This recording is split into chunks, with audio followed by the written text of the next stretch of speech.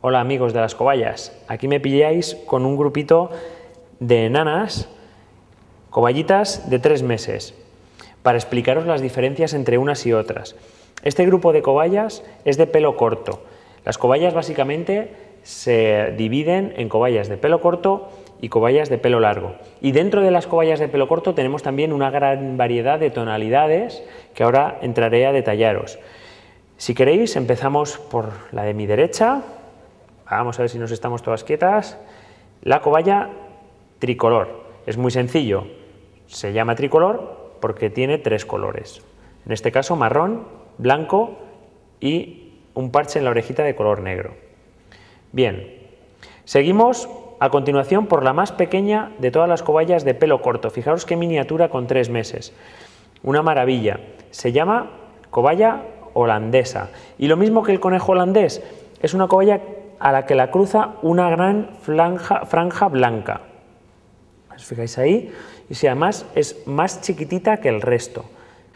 Y preguntaréis, ¿más pequeña? ¿Cuál es el tamaño normal de una cobaya? El tamaño normal de una cobaya adulta Depende de si es macho o es hembra. Normalmente las hembras, peso adulto está entre 800 gramos y 1 kilo 200, mientras que los machos van de un kilo, incluso hasta un kilo y medio los más grandes. Eso siempre y cuando no estén gordos, porque si se ponen gordos todavía podemos llegar incluso a superar esos pesos.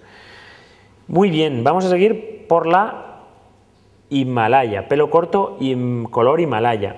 La Himalaya eh, es una cobayita fundamentalmente blanca o tostada, con los ojitos rojos y con la punta de las extremidades de su cuerpo en color negro. La punta de las extremidades, estamos hablando de orejas, patas, punta del hocico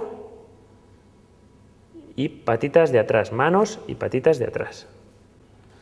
Y terminamos con la dálmata, que es como en perro una cobaya jaspeada, con el fondo blanco normalmente y jaspeada en marrón o en negro. Muy bien, pues veáis ahí, aunque todas parecen muy parecidas, hay colores muy distintos entre ellas. Pero eso sí, todas englobadas dentro del grupo de cobayas de pelo corto.